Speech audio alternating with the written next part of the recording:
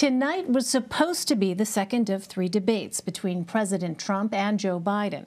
Instead of appearing together for a town hall that would air across television and streaming networks, Mr. Trump and Joe Biden will be counter programming each other with individual events on ABC and NBC. The debate was called off after President Trump refused to participate virtually because of his COVID 19 diagnosis. It would not have been an unprecedented situation. In 1960, Richard Nixon and John F. Kennedy debated remotely from across the country. But instead, the president is back on the campaign trail, hosting large crowds at his rallies, claiming he can no longer spread the virus. Coronavirus cases in the U.S. are on the rise for the third time since the start of the pandemic, with both cases and hospitalizations rising in most of the country. But the White House and Congress still cannot come to an agreement on a COVID relief package. In an interview this morning, President Trump followed up on his statement of go big or go home, saying he'd raise the price tag on his team's $1.8 trillion offer, claiming that China would somehow pay for the difference. Will you raise your offer above 1.8 trillion? I would, because look, this was not caused by our workers and our people. This was caused by China and China will pay us back in one form or another. And the money's coming back anyway. I would, absolutely, I would. I would pay more. I would go higher. Would you pick up the phone and call Speaker Pelosi with a higher sure offer? I would, but it's, uh, you know, I know my people. I know life. Uh, she's got a lot of problems. She's got a lot of mental problems, and it's going to be very hard to do anything with her. She wants to wait till after the election. She thinks it hurts the Republicans, and I don't. I think it hurts. I think it hurts them. Campaigning in Florida this week, Joe Biden attacked Republicans for focusing on confirming Amy Coney Barrett to the Supreme Court rather than on aid to Americans. In the middle of this pandemic, why do the Republicans have time to hold a hearing to pack the court instead of providing significant economic relief in need for localities? I'll tell you why. It's about it's about wiping out the Affordable Care Act, to wipe it off the books. Because their nominee has said in the past that the law should be struck down. That will take away health care for 20 million Americans. Caitlin Huey Burns, Nancy Cordes, and Anita Kumar join me now. Caitlin is our CBSN political reporter. She's in the battleground state of Florida. Nancy is CBS News chief congressional correspondent, and Anita is a White House correspondent and associate editor for Politico. Uh, Caitlin, I want to start with you. Uh, another person in Joe Biden's orbit has tested positive for COVID 19. Who was it, and how is COVID impacting the Biden campaign? That's right. We just learned from Biden's campaign manager that a, an administrative member of the aviation staff that charters the vice president's plane, the former vice president Biden's plane, tested positive for coronavirus. Uh, the campaign says that Biden and this person have been uh, well uh, distanced from each other, over 50 feet apart. And so the former vice president will not be quarantining. He will keep up his campaign schedule, which of course includes a town hall tonight. This comes after we learned earlier today that two people close to Kamala Harris, a communications staffer who she's very close with, and a member of this aviation committee uh, from the flight crew tested positive and that has grounded Kamala Harris out of an abundance of caution. The California senator has tested negative for coronavirus today, but her team says that she will uh, not travel. She'll su suspend, suspend campaign activity through Monday when she'll resume campaign activity out of an abundance of caution. And it, it, it, should be noted that part of a key part of the Biden campaign's message is on how they are adhering to protocols to CDC guidelines, and they're hoping that that draws a contrast to the president. You played a clip from Biden when he was campaigning here at a drive-in uh, rally. Uh, the Biden, the Trump campaign has had in-person events uh, trying to put the virus behind them. The Biden campaign wants to have this front and center because it is a negative thing for the president. And by putting out this information, uh, they believe that that helps to draw a contrast with how the administration has been handling this.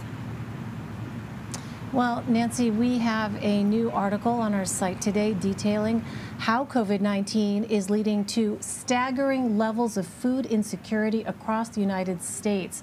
Even if the White House and House Democrats can put together a deal, is there really an appetite for it in the Republican controlled Senate that is focused on confirming President Trump's third Supreme Court justice?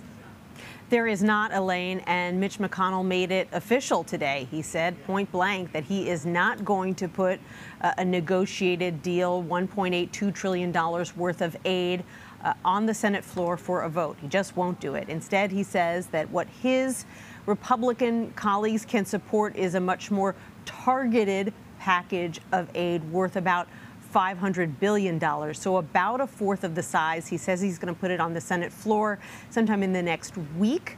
Um, it's unclear whether it will have the votes to pass, whether it will get enough Republican support, let alone Democratic support, and then even if it does pass in the Senate, what will happen in the House, where they felt that they had been negotiating in good faith with the president and his top negotiator, Treasury Secretary Steven Mnuchin, on a much, much larger package. So uh, all of this sends really strong signals, Elaine, to anybody who was hoping that there might be a bump in federal unemployment benefits or let's say another round of stimulus checks before the election.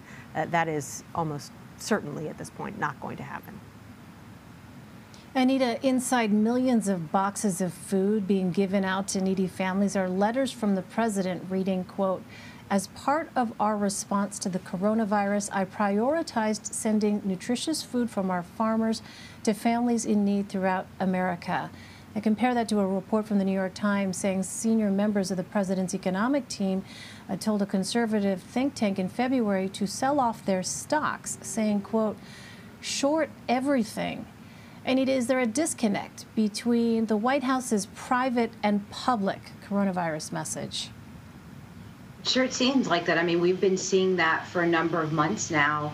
This is not the first time that we've heard what the president heard from his advisors and what he, from his health healthcare advisors and economic advisors, was something that he different than what he was saying. Obviously, we heard that in uh, the Bob Woodward book that came out recently, where he said he wanted to downplay the coronavirus publicly because uh, you know, because he didn't want people to get upset and anxious and, and worried. And, you know, that's what the president has been saying for weeks now.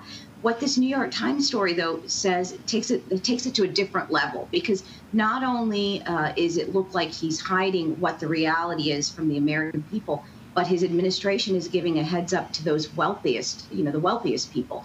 Uh, to let them, uh, you know, save their money and, and not lose as much money. So it's not only whether he's hiding it from everybody, but is he helping some of his friends and, and donors and, and business people that he knows? And that just goes back to what Joe Biden has been trying to say this entire time for months now.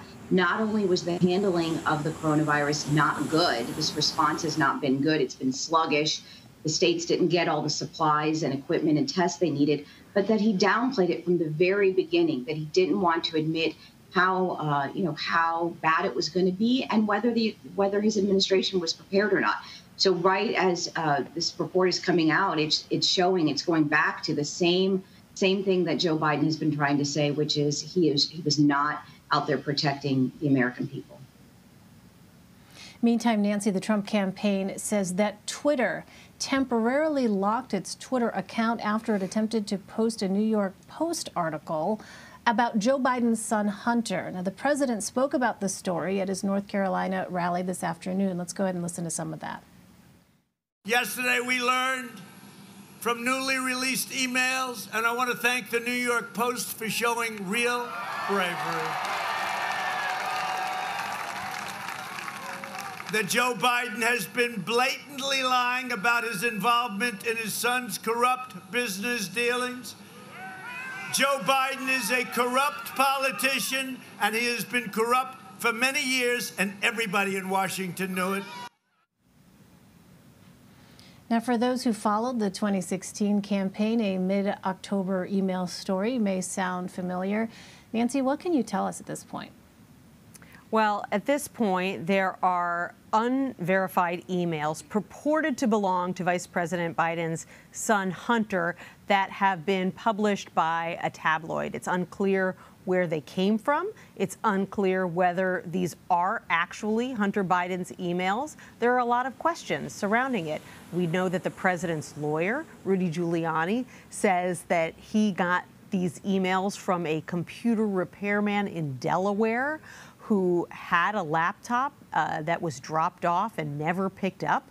So uh, that's an unusual situation. We also know that Rudy Giuliani has admitted in the past to working with a known Russian operative to dig up dirt on the Bidens. So, because there are so many questions about the origins of this information, whether these emails are actually Hunter Biden's or not, whether they were hacked or not, many social media outlets, including Twitter, took steps to uh, to restrict the, the sharing of these articles. And one of the things that Twitter did was temporarily suspend both the Trump campaign's Twitter account and the White House press secretary's Twitter account because they had tried to share the article. And this is something that made the Trump campaign very angry. It threatened to sue Twitter. Now, Republican allies on Capitol Hill are threatening to haul in the uh, CEO of Twitter and make him answer for this.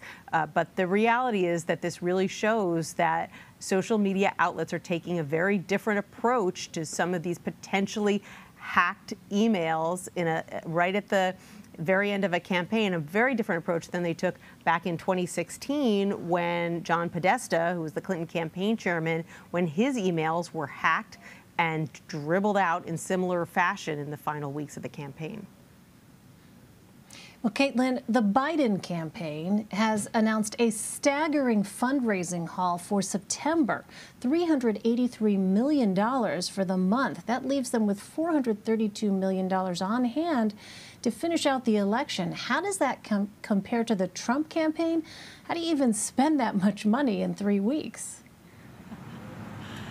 That is a pretty good position for the Biden team to begin uh, to this final stretch with. We don't know the Trump campaign's numbers yet, but if you compare them uh, to August, the Biden campaign raised more than $150 million more than the Trump campaign. So we'll wait to see what the Trump numbers are. But that kind of money can go a long way in battlegrounds like here in Florida on advertising. It can allow the campaign to go on offense in places like Texas, big places like Texas and Arizona and elsewhere.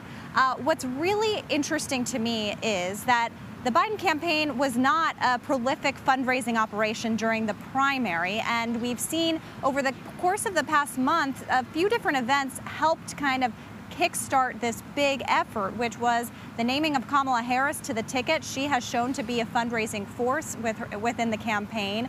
You had uh, the Supreme Court nomination, which we found uh, really uh, galvanized Democrats in terms of contributing to campaigns. And you also had the debates. What's also really interesting here is that in these really competitive Senate races, we've seen Democrats raise historic numbers. Remember in 2018 when we talked about Beto O'Rourke in Texas raising $38 million? Well, Jamie Harrison, a candidate in South Carolina, raised $57 million. Today, Mark Kelly, a candidate in Arizona, raised about $38 million. So not only is the Biden team raking in more money than they might know what to do with, uh, these congressional campaigns are also bringing in money. But I will note that campaign manager Jen O'Malley Dillon of the Biden campaign, in announcing these numbers, cautioned that the polls are close and that this race, she said, is closer than people on social media think it is. Hmm, interesting. Well, finally, Anita, your latest article for Politico looks at how the Trump team has found early success in restricting mail in ballots. What battles are they winning? What legal arguments are they using? Mostly what people have heard about is President Trump talking about how he doesn't want states to send out unsolicited ballots. He has had zero success in stopping states from sending out ballots to every voter. But he hasn't really talked about this. Uh, uh, he and his campaign and the Republican National Committee have filed lawsuits in 10 states saying, ask, you know, asking the courts to stop uh, ballots from coming in after Election Day. So, what a lot of states have done this year because of the pandemic is they are saying as long as your ballot is postmarked by Election Day, it could come in three, six, 12 days even after Election Day. And they're saying that's just not uh, the right thing to do for a couple reasons. They're saying it's not possible to know whether this was voted on on Election Day. And that's because there aren't postmarks on all of these ballots. Sometimes when the ballots are done in bulk, they don't have a legible postmark. So they're afraid people would be engaged in fraud and could vote after Election Day. The other reason they're doing this is because they don't want to know the results six or 12 or, or three weeks, you know, six or 12 days after the election. They want to know it on election day or as close to election day as possible. What we're seeing is that the last two weeks, they've had a number of cases that have gone very well for them where the courts are ruling that on election day, that ballot must be in. So, uh, for example, in Georgia, they had a case in Wisconsin. So we're looking at these swing states, and that, those are the ones that matter right now because those are the ones that are going to be close where these ballots could really make a difference. Now, Democrats say, look, they've had some wins too, which they have, and they are appealing some of these uh, cases where Republicans won. So it's not all done. We're waiting for the Supreme Court actually to rule on a couple of these cases. But this is one place, uh, you know, on these mail-in ballots that President Trump has so far anyway had some success. All right, to be continued. Caitlin Huey Burns, Nancy Cordes, and Anita Kumar. Thank you all very much. Appreciate it.